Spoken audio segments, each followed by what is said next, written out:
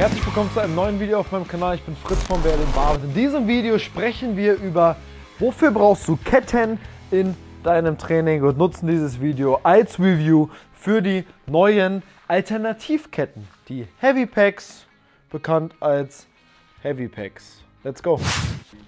Bevor wir reinstarten in dieses Video, ja, und wir hier über mit Edelstahl gefüllte Kettenersatz Gewichte reden, die übrigens viel besser sind als andere Ketten, dazu kommen wir aber gleich. Auf diesem Kanal dreht sich alles um Training, wie du schneller, stärker wirst, wie du die richtigen Übungen in dein Training integrierst und ganz besonders, welches Equipment lohnt sich zu kaufen, worin lohnt es sich zu investieren, was solltest du in dein Home Gym, Gym stellen oder wovon solltest du die Finger lassen. Dafür ist dieser Kanal da. Hier bei mir bei Berlin Babel testen wir die ganze Zeit ohne Ende Equipment. Wenn wir uns einmal kurz drehen, sehen wir, in diesem Gym sind definitiv mehr Hanteln als Quadratmeter und wir haben den zweiten Raum noch nicht gezeigt. Und jetzt sprechen wir über Training mit Ketten, was dir das bringt für dein Training, wie du es einsetzen kannst, solltest und was für Möglichkeiten du da hast, wenn es ums Material geht. Wir kennen es alle aus McFit. Da kenne ich zumindest her. Man kann Ketten an eine Langhantel ranhängen und je nachdem, welche Bewegung man macht, sind die Ketten entweder komplett auf dem Boden und man hebt dann, wie beim Kreuzheben zum Beispiel, die Langhantelstange ab und hebt, hebt Segment für Segment der Kette mit nach oben. Wenn man das Ganze jetzt benutzen würde, zum Beispiel beim Bankdrücken oder beim Kniebeugen, würde das bedeuten, wir starten hier oben mit der Hand auf den Schultern und die gesamte Kette, in dem Fall hier die Heavy Packs, sind in der Luft und sind alle befreit vom Kontakt zum Boden und demnach wirkt auf alle Segmente dieser Kette jetzt die Schwerkraft. Das heißt, ja, wir merken das Gewicht. Sobald Segment für Segment den Boden berührt, wird auch das Gewicht, das wir bewegen müssen, weniger. Das bedeutet jetzt beispielsweise in einer Kniebeuge, ich nehme jetzt einfach mal die Stange nur mit den Ketten dazu. Alles andere wäre mir einfach heute zu schwer. Ähm, wenn ich jetzt hier stehe, schleifen die unteren Teile der Ketten auf dem Boden, weil ich einfach ein bisschen kleiner bin. Und wenn ich jetzt bei der Kniebeuge klassisch absenke, wird es dadurch, dass die Ketten den Boden berühren, faktisch auf der Hantel weniger Gewicht. Denn jetzt liegt ja mindestens die Hälfte der Ketten auf dem Boden. Das heißt, hier unten in der tiefen Position ist es einfacher. Und wenn ich jetzt von hier unten wieder rausschiebe aus dem schwersten Punkt, wird es Stück für Stück wieder schwerer. Und das ist faktisch, wofür man Ketten im Training benutzen wird, sollte, könnte. Und andersrum, wenn man das Ganze jetzt zum Beispiel fürs Kreuzheben benutzt, ist es so, dass man jetzt, wenn nur die Ketten drauf sind, hier unten quasi kein Gewicht hebt und desto höher man kommt, desto mehr Last hat man. Man könnte jetzt quasi Scheiben drauf haben und dann außen noch Ketten ranmachen und desto höher man weggehoben hat, desto mehr Gewicht hat man auf der Stange. In dem Fall lege ich sie einfach noch mal kurz zurück. Umsetzen übrigens eine ganz schwierige. Bei der Kniebeuge, beispielsweise auch beim Bankdrücken oder beim Überkopfdrücken, bedeutet das am schwersten Punkt, also nach dem Absenken des Gewichts von oben, ist die Last, die wir bewegen, am leichtesten und am höchsten Punkt, nachdem wir aufgestanden sind, haben wir die meiste Last. Was bedeutet das jetzt zur Integration von Ketten in das Training, mit welch, welche Bedeutung hat das? Ganz einfach, bei der Kniebeuge bedeutet es, dort wo der Mobilitätsaufwand und rund um den Umkehrpunkt der höchste Kraftaufwand vonnöten ist, ist das Gewicht verhältnismäßig am wenigsten. Was jetzt beispielsweise bedeutet, dass die Bewegung an sich einfacher wird und du insgesamt mehr Gewicht draufladen kannst, weil du in den entscheidenden Punkten weniger Gewicht drauf hast. Sehr interessant beispielsweise für Maximalkrafttraining, Powerlifting, Strongman, spezifisches Training, olympisches Gewichthebetraining, also nur Kniebeugen, nicht den Rest. Und aber auch in Relation zu gewissen Defiziten, die man beispielsweise hat.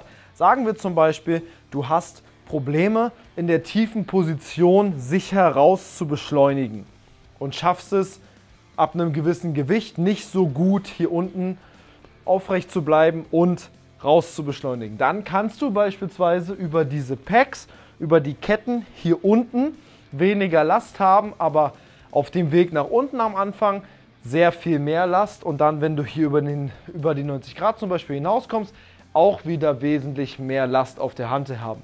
Andersrum, wenn du jetzt bei der Kniebeuge beispielsweise als limitierenden Faktor ein Defizit hast, bei allem, was über parallel ist, hast du durch die Ketten den, die wunderbare Situation, dass du beispielsweise unten es natürlich leichter hast, aber wenn du jetzt hier rausgeschoben hast und du kommst über 90 Grad, hast du verhältnismäßig einfach mehr Gewicht drauf und überlädst faktisch diesen Teil der Bewegung, weil das Gewicht einfach in dem Moment dann leer wird, in dem mehr wird, indem es den Kontakt zum Boden verlässt.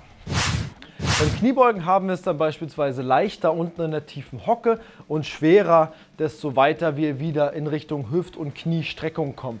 Beim Bankdrücken beispielsweise hätten wir es leichter im, in der vollen Bewegungsumfang in der Zielposition mit, dem, mit, der, mit der Stange auf der Brust und schwerer, desto höher wir kommen. Das hat jetzt mehrere positive und vielleicht auch negative Effekte. Die positiven Effekte, die wir haben, also den Trainingsreiz ist auf der einen Seite natürlich diese veränderte Spannung, dass wir hier oben mehr Gewicht haben können und hier unten am Ende weniger Last bewegen müssen. Das andere, was dazu kommt, ist der koordinative Anspruch. Dadurch, dass die Ketten natürlich ein Eigengewicht haben und auch schwingen und rumwackeln, müssen wir besser stabilisieren. Heißt also höher koordinativer Anspruch, das heißt am Ende kommt dabei vielleicht auch eine bessere und sicherere Bewegung raus, weil wir ja normalerweise nicht mit einem variablen Gewicht trainieren, sondern Scheiben sind ja ein festes Gewicht und dadurch, dass das hier schwingen kann, haben wir ein variables Gewicht, was nochmal mehr Input gibt, den wir natürlich auch ausstabilisieren müssen. Kann gut sein, kann auch schlecht sein. Variable Gewichte würde ich beispielsweise nicht für Maximalkraftversuche nehmen, im Bankdrücken oder im Kniebeugen, einfach weil sie wackeln. Wenn wir das Ganze jetzt zum Kreuzheben benutzen, können wir zum Beispiel sagen, wenn du Probleme hast, vom Boden wegzukommen, wäre so eine Thematik, die ich zum Beispiel habe, dass du damit das Ganze so überladen kannst, dass du vom Boden weg noch ein bisschen weniger Last wegschiebst und wenn du hier oben stehst, dann mehr Gewicht drauf hast. Das bedeutet für unser Training also, dass wir es in allen Bereichen einsetzen können. Wir können es im Maximalkrafttraining einsetzen, in einem Bereich von drei bis fünf Wiederholungen, um Maximalkraft zu steigern. Wir können es aber auch einsetzen in einem Hypertrophiebereich, sagen wir mal ganz grob gesagt von fünf bis zehn Wiederholungen, wenn wir einen gewissen Teil der, Muskel, der arbeitenden Muskelketten überladen wollen, wie zum Beispiel beim Bankdrücken vielleicht den Anteil des äh, Trizeps hier oben, wenn es darum geht, das Ganze durchzustrecken, wäre alles möglich. Jetzt kommen wir mal zu den Ketten, die wir hier eigentlich haben. Denn die meisten kennen ja nun die klassischen Ketten aus dem Fitnessstudio, die vor allem eins sind, laut. Was Heavy Packs, und ich habe die übrigens auf der FIBO kennengelernt, sich überlegt haben, eigentlich ist die NSG eine Metallfabrik, die Autoteile produziert. Und sie haben mit einem Abfallprodukt aus der Schalldämpferproduktion in ihrer Fabrik solche Metallpellets, die quasi rausgestanzt werden aus ähm, Edelstahl. Und diese, da kamen sie auf die Idee, haben sie faktisch einfach abgefüllt, ummantelt von, das hier sieht aus, als wären es einfach nur Autogurte. Ähm, abgefüllt in solche Pakete hier und können darüber Dadurch, dass Edelstahl natürlich eine viel höhere Dichte hat als das, was wir sonst zum Beispiel kennen. Wir kennen zum Beispiel so Kettlebells oder Hanteln, die sind gefüllt mit Wasser oder mit Sand. Edelstahl hat natürlich insgesamt eine höhere Dichte und auch eine viel höhere Genauigkeit, weshalb man dieses Gewicht dann besser abfüllen kann. Wir haben hier jetzt einmal die Metallpellets, die abgefüllt sind in diesen kleinen Paketen am Ende umhüllt von einem äh, Nylonstoff, der einfach sehr, sehr belastbar vernäht ist. Das packe ich einfach mal so zur Seite. Der große Vorteil von diesem Material ist besonders, dass Edelstahl natürlich gerade im Vergleich zu Sand eine deutlich höhere Dichte hat. Außerdem hat man bei Sand natürlich die große Thematik, sobald man irgendwie Feuchtigkeit in die Nähe bekommt von der Füllmenge der Gewichte, dem Sand, hat man in diesen Gewichten das Problem, dass Sand anfängt zu klumpen und schon drehen sich Gewichte, sie haben eine gewisse Unwucht. Edelstahl hat diese Probleme natürlich nicht. Abgesehen davon, dass man hier also eine viel höhere Dichte erreichen kann und auf deutlich weniger Raum mehr Gewicht reinbekommt, hat man außerdem nicht die Probleme mit dem Verkleben, mit dem Zusammenhaften und man muss einfach sagen, dass das Material eigentlich völlig überqualifiziert ist, um irgend so etwas befüllen. Aber dementsprechend ist das Material auch anderen Füllstoffen für solche Säcke beispielsweise stark überlegen. Wenn man sich jetzt mal überlegt, man würde das hier in äh, Sandbags, also in Säcke befüllen, hätte man nicht mehr das Problem, dass diese Dinger beispielsweise stauben. Normalerweise nimmt man ja deshalb dafür Kiesgemische, allerdings sind die auch in der Regel kombiniert mit irgendeinem Sand, weil irgendwo werden die ja transportiert oder gelagert. Oder ganz besonders hat man das Problem, dafür, dass man den sauber bekommt, muss man den normalerweise dann ja auch reinigen, waschen und dann ist das Zeug wieder nass. Und wenn es wieder nass ist, hat man das nächste Problem, dass der Sandbag nass ist und nicht richtig trocken wird. Es sei denn, keine Ahnung, man wird den backen oder man legt den krass in die Sonne. Aber diese Probleme hat man mit diesem Material letztendlich nicht. Die Heavy Packs sind dementsprechend eine Innovation in vielerlei Hinsicht. Wir haben die Nachhaltigkeitskomponente, dass eigentlich ein Abfallprodukt aus der Produktion weiterverwertet wird. Ähm, was mir gefällt im Bereich Fitness. Dann kommt dazu, dass die Materialqualität der normalen, äh, der normalen Qualität im Befüllen von Dingen deutlich überlegen ist, da es kein Sand ist, kein Wasser ist und wir dementsprechend ein ja, Edelmetall oder Edelstahl bekommen hier, der sehr viele gute Eigenschaften hat. Unter anderem ist es ja auch noch rostfrei, obwohl man natürlich die Dinger nicht nass werden lassen will, aber ja, haben ist besser als brauchen. Dementsprechend muss man sagen, dass wenn man jetzt bisher Ketten in seinem Training verwendet hat, man hat solche Ketten zu Hause, die rosten, klimpern, laut sind, hat man hier jeden Grund, die vielleicht zu ersetzen durch etwas, was leise ist, weniger Probleme macht und tendenziell vielleicht auch äh, weniger abschreckt. Denn so Ketten wirken ja für viele immer super rustikal. Die einen finden es geil, die anderen finden es eher nicht so geil. Aber wenn man keine Ketten hat, würde ich mir auch keine normalen Ketten holen, sondern lieber ein paar Euro mehr ausgeben dafür, dass ich was habe, was keinen Dreck macht, was nicht laut ist, was nicht rostet und was man beispielsweise über diese Öse hier vernünftig aufstecken kann. Sehr, sehr großer Vorteil und warum ich auch finde, dass das hier als Produkt Potenzial hat. Für welche Gyms eignet sich das jetzt? Ich würde sagen, wenn man jetzt ein Fitnessstudio hat und man möchte solche Ketten rumliegen haben, würde ich die normalen Ketten auf jeden Fall gegen Heavy Packs kaufen. Sie sind wesentlich leiser. Es nervt nicht alle anderen, wenn jemand mit Ketten trainiert. Wir kennen es ja alle. Wenn jemand mit Ketten trainiert, geht es allen anderen nämlich auf den Sack.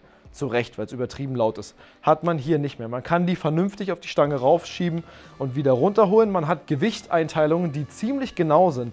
Dadurch, dass man es gut messen kann, von 16, 12, 8 und 5 Kilo. Ich würde bei meinen Gewichten beispielsweise immer die mit 16 nehmen, einfach weil es dann den signifikantesten Unterschied macht und ich oben stärker überladen und unten stärker unterladen kann. Und ansonsten muss man sagen, dass die Verarbeitungsqualität solide ist. Ich meine, gut, wie ist eine Kette normalerweise verarbeitet? Das ist ja eher stümperhaft, da gibt es nicht so viel, aber hier merkt man schon, dass die Verarbeitungsqualität hoch ist. Und wenn man sagt, ich hätte gerne Ketten für mein Training, aus den Gründen, die schon bereits benannt wurden, ähm, sind die hier auf jeden Fall der neue Standard, den ich auch bei uns in den Kursen eingeführt habe und jetzt nutze, ähm, weil es auch einfach Spaß macht und ich jetzt nicht den Lärm habe. Letztendlich passt es ja in jedes Gym. Jeder, der gerne sowas hätte, sollte das vielleicht in sein Gym sich holen. Denn ich bin der Letzte, der sagt, Equipment kaufen lohnt sich nicht. Aber die wichtigsten Punkte sind einfach gute Verarbeitung, besseres Material und weniger Geräusch Kulisse weniger negative Punkte. Und dann ist egal, ob du das Ganze nutzt für deine Physiotherapiepraxis, für dein PT-Gym, für deine CrossFit-Box oder für ein richtiges Fitnessstudio oder einfach zu Hause, weil du gerne Zeug hast zum Trainieren. Wenn dir das Video gefallen hat, tu mir den Gefallen, Daumen nach oben, Abo da lassen und schreib mir in die Kommentare, was denkst du über Ketten und jetzt auch vor allem über diese Ketten. Da freue ich mich auf jeden Fall wieder auf die nächste Diskussion in den Kommentaren und ich hoffe, wir sehen uns hier bald wieder zu einem weiteren Video auf meinem YouTube-Kanal.